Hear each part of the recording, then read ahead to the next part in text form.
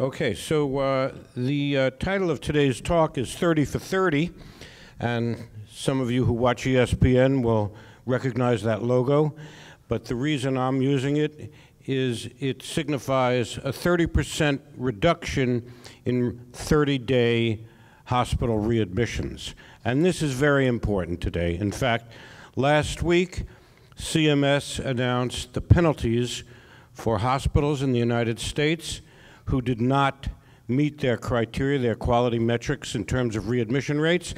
And in fact, 75% of hospitals in the United States received a penalty. This is going to get people's attention. Uh, I started out in this in 2008 uh, because in 2008, uh, the hospital readmission rate for uh, heart failure patients was 25%. And I had no idea of that.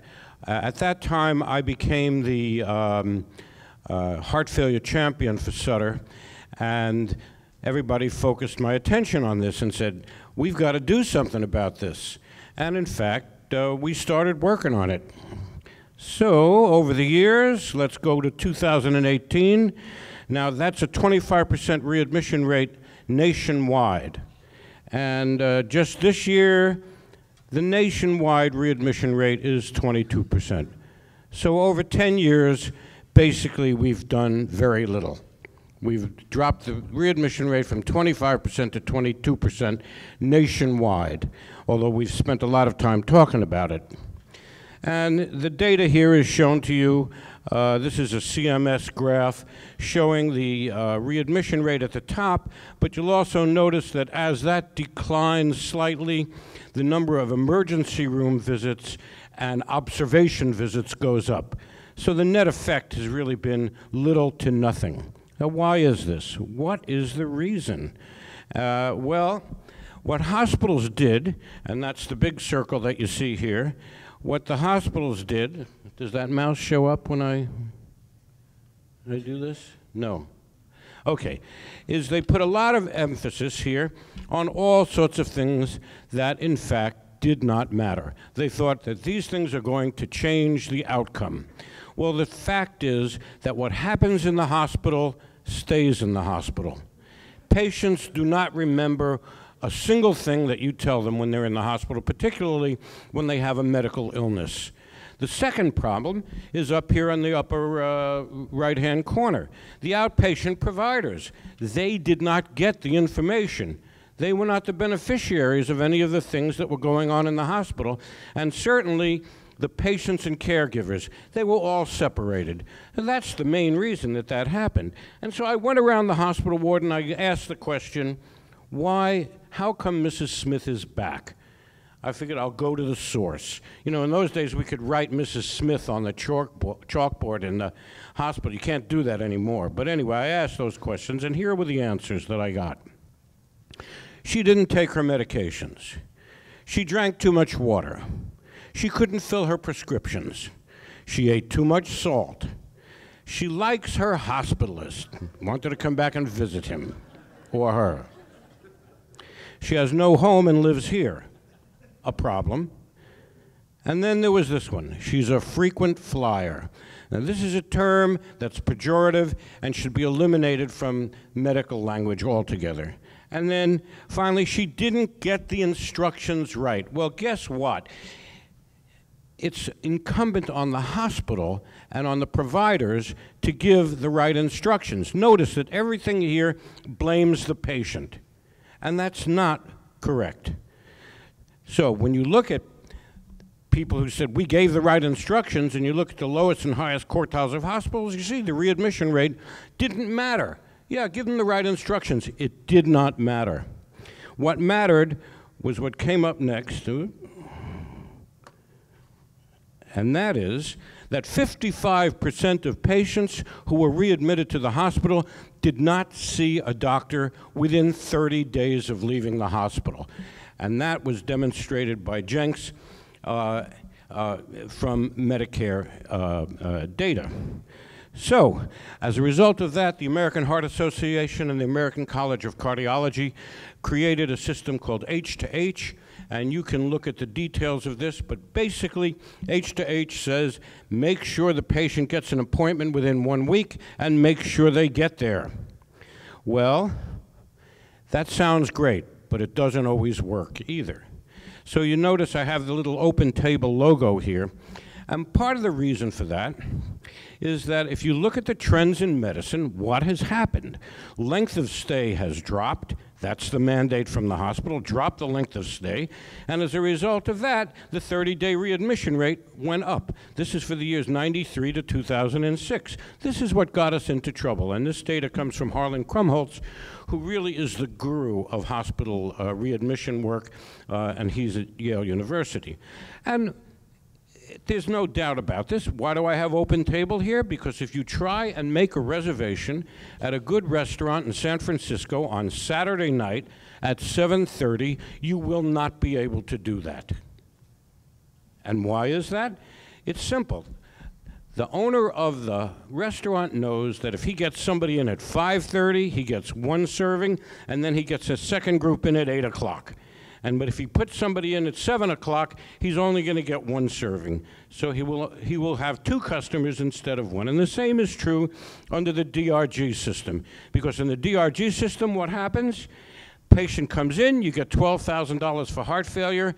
They go home, you get another, in three days, you get another patient in. Three more days, you've made $24,000. But if one patient stays six days, uh-uh, you only made $12,000 and it's simple math.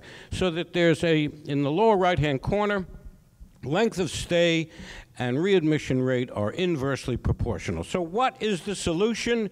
Uh, the solution must be technology. Let's bring all these three together with technology. And it's a good idea, but it didn't work. And if you look here, these, this is data from uh, Krumholz's study looking at telemonitoring of heart failure patients when they went home, and you can tell from these curves there's no difference between the control group and the treatment group. But wait a second, I told you we did better than that, and we did. Because what we did was we first started out with what we called a discharge clinic, we saw the patients at the, at the hospital within a week, and we dropped the readmission rate from 18% down to 10.6%. And that's for that one year period. But every hospital can't have a discharge clinic. It's hard to do that. How are you going to keep track of those patients? Well, we set up a telemonitoring system, and we produced a 30% reduction in readmission rates. Now, you'll notice here these, this is data for California Pacific Medical Center in San Francisco. And this is the HSAG data, the Health Service Administration Group. And you can see here that compared to patients discharged home and patients who went to skilled nursing, we dropped the readmission rate down to 17% for that group of patients with heart failure. And how did we do it? What we did was we did medication reconciliation in the home with patients. We did all of these things that I've listed here. We had telemonitoring, and basically, we made sure the patient got to see a doctor within a week as well. In a meta-analysis of this uh, data, you can see here that when you have telemonitoring or structured telephone support systems to a machine, it doesn't work the risk reduction is not there. It's 1.06, so it's worse.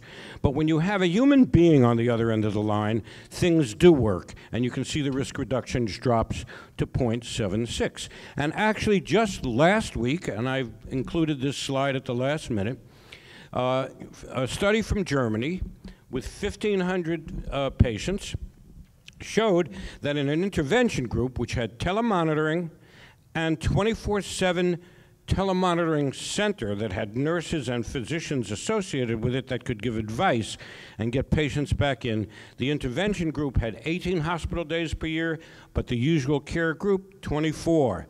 The deaths were diminished as well, and the composite between the two obviously favored the usual, the um, excuse me, the intervention group.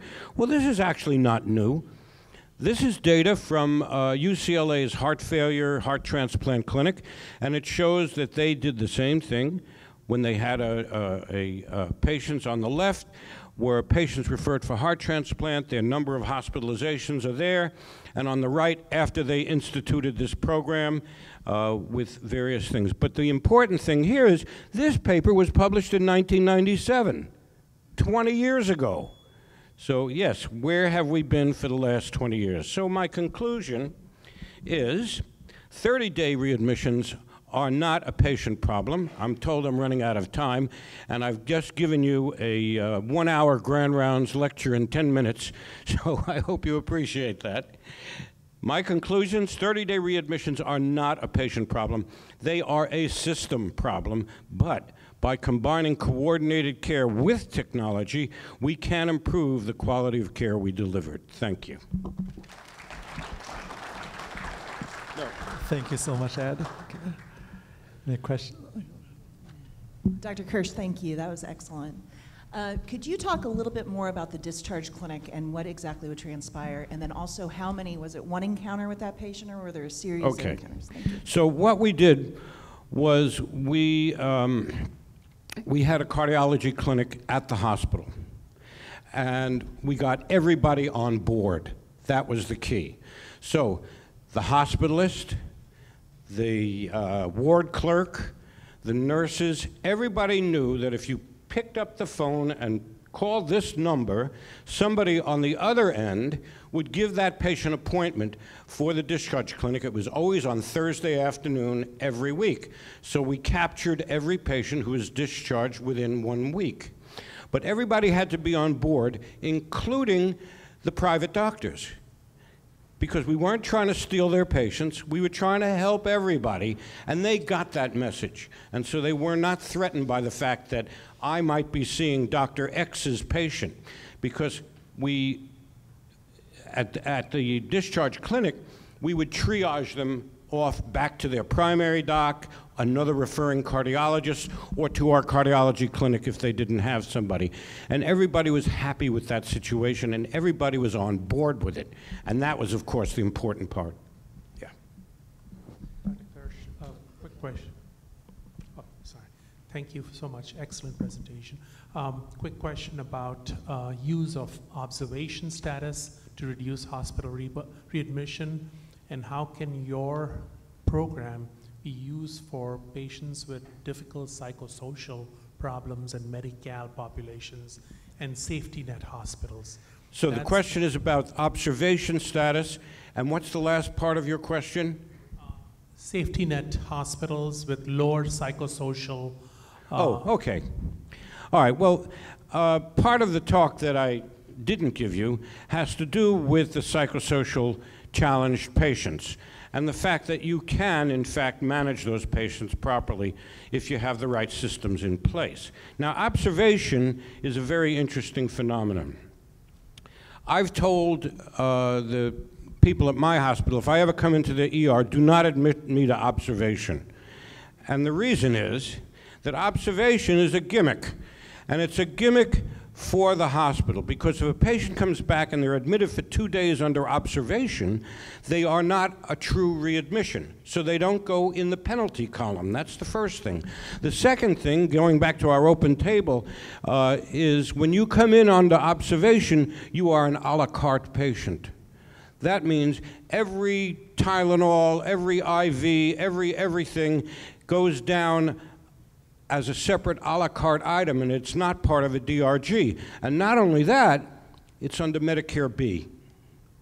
It's not under Medicare A. Observation is an outpatient service under Medicare B, and your patient, when they get home, will get a bill for 20%. And so you'll get a patient who's not very happy either. So that's my feeling about observation.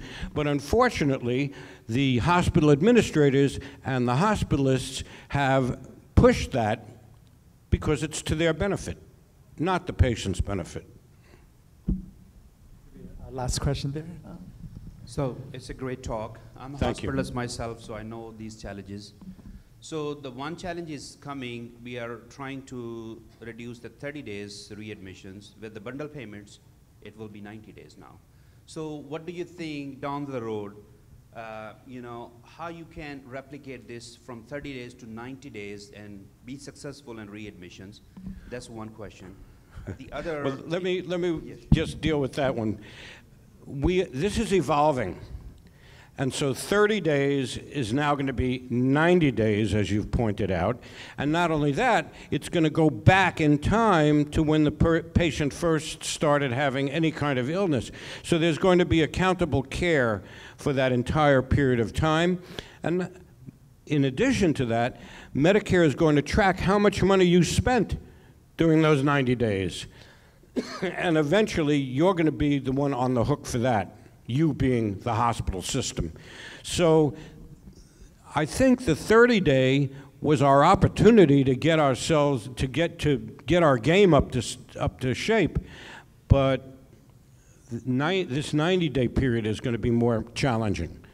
What's the second question? The other is, is a quick, like, your process, you know, um, how you navigate, how you, you have a navigator in the hospital. Okay. You have the nurse practitioners, the nurses calling the patients and monitoring those, or how you do that? Okay, so, yeah, we have a navigator at the hospital, and I've had some extensive conversations with her.